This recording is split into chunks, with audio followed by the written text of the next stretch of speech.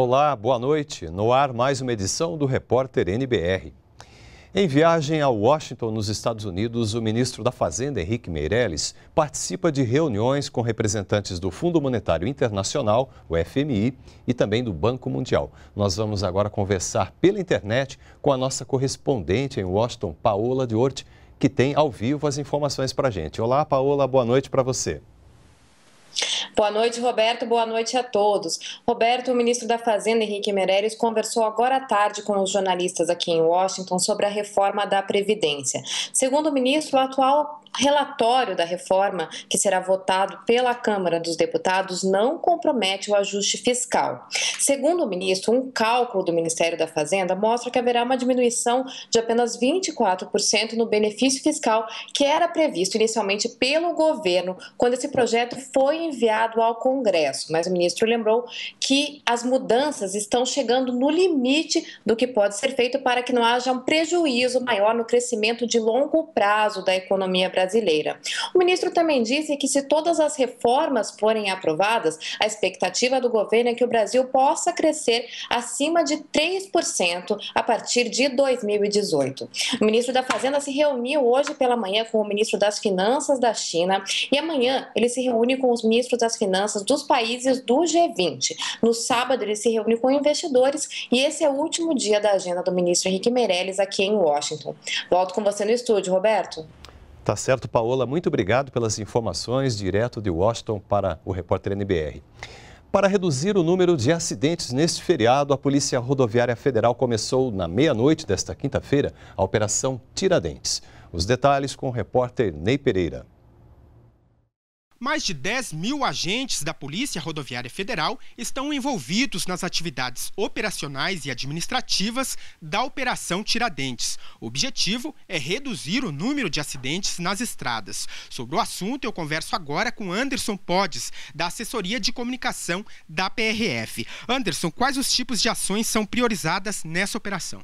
A PRF ela vai priorizar ações preventivas com foco em três áreas: áreas de educação, a área de prevenção através do policiamento ostensivo em pontos críticos e a área de fiscalização. Essa última especificamente, né, com um foco muito forte naquelas infrações que colaboram para a ocorrência de acidentes mais graves, como por exemplo o excesso de velocidade, as ultrapassagens indevidas, o consumo de álcool ou até mesmo o não uso de equipamentos de segurança, como cinto de segurança, dispositivo das crianças ou o capacete para os motociclistas. Quais as recomendações para o motorista que vai pegar a estrada neste feriadão? Bom, a viagem ela começa bem antes de sair de casa, então é muito importante que haja um planejamento da viagem, principalmente viagens longes, é, longas, onde a pessoa deve considerar pontos de parada para abastecimento, descanso, alimentação. Além disso, a revisão do veículo é extremamente importante, principalmente os equipamentos obrigatórios e equipamentos de segurança, o estado de pneus, sistema de iluminação, sistema de sinalização. Além disso, a partir do momento que a pessoa está dirigindo, todo o foco tem que ser no ato de dirigir, respeitando a sinalização, respeitando os limites de velocidade, porque fazendo isso, com certeza, o motorista ele vai estar colaborando para a segurança dele, da sua família e das outras pessoas que estão utilizando a via. Obrigado, Anderson. A Operação Tiradentes começou à meia-noite desta quinta-feira e vai até a meia-noite do domingo, dia 23. De Brasília, Ney Pereira o uso da radiação a serviço da preservação da cultura brasileira. A Universidade de São Paulo, a USP, faz esse trabalho de forma pioneira no Brasil e também na América Latina. Nós vamos conhecer melhor esse serviço na reportagem de José Luiz Filho.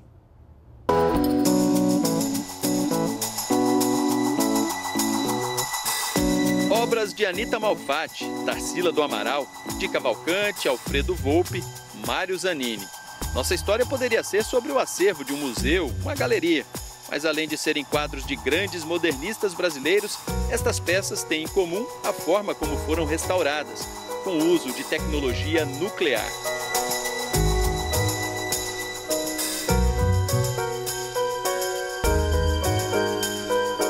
As peças foram submetidas à ação de raios gama, uma tecnologia empregada de forma pioneira na América Latina pelo Centro de Tecnologia de Radiações do Instituto de Pesquisas Energéticas e Nucleares da Universidade de São Paulo. Um trabalho que no início causou desconfiança e medo entre restauradores e a comunidade artística. O medo né, da, da radiação que o o quadro, o, o, a obra saísse radioativo ou que tivesse algum dano do efeito de radiação. Hoje nós praticamente atendemos quase todos os museus né, para esse trabalho de preservação de obras de arte Desse, desses museus. Os estudos para o uso do irradiador no tratamento de obras de arte infestadas por fungos e insetos, como cupins, começaram em 2004, mas só a partir de 2010 o equipamento montado com recursos do Ministério da Ciência, Tecnologia, Inovações e Comunicações passou a ser utilizado em maior escala. Trabalhamos com mais de 20 museus e instituições de preservação do Estado, pelo menos, e conseguimos ajudar para que tenham trabalho seguro e que consigam evitar os problemas ou as consequências de contaminantes biológicos como o fungo. Este é o único irradiador de raios gama utilizado para o tratamento de obras de arte e documentos históricos na América Latina e um dos seis em operação no mundo. A grande vantagem dessa técnica é dar mais agilidade ao trabalho dos restauradores, já que quadros, livros e esculturas podem ser desinfectados sem uso de produtos químicos e de uma só vez, e não por etapas, como é feito tradicionalmente. As peças são colocadas inteiras dentro do irradiador. No caso de documentos, nem precisa serem tirados das caixas. Apesar da complexidade do sistema, o processo é simples. Brilhando no fundo de um tanque de água com 7 metros de profundidade, sob o irradiador, estão 56 varetas de aço especial carregadas com pastilhas de cobalto 60, o elemento radioativo que emite os raios gama. Quando a câmara é fechada, com uma porta de 120 toneladas de aço, concreto e chumbo que isola a radiação, as peças são expostas aos raios gama e os elementos nocivos, como fungos, larvas e insetos, acabam mortos.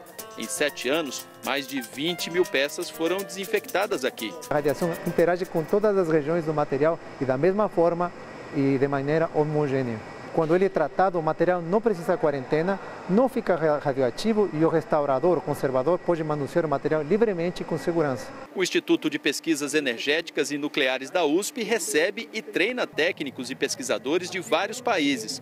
Museus e instituições públicas podem ter obras tratadas gratuitamente. Nós fazemos um, um trabalho de cooperação, então nós solicitamos que eles divulguem essa tecnologia né? E ao, e, ao mesmo tempo eles têm a vantagem de ter o material livre de infestação, preservado. Né? É a tecnologia atômica a serviço da preservação do patrimônio histórico e cultural brasileiro.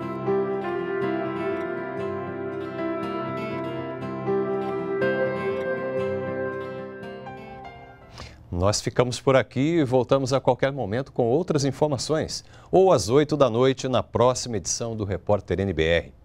Continue com a gente aqui na NBR, a TV do Governo Federal.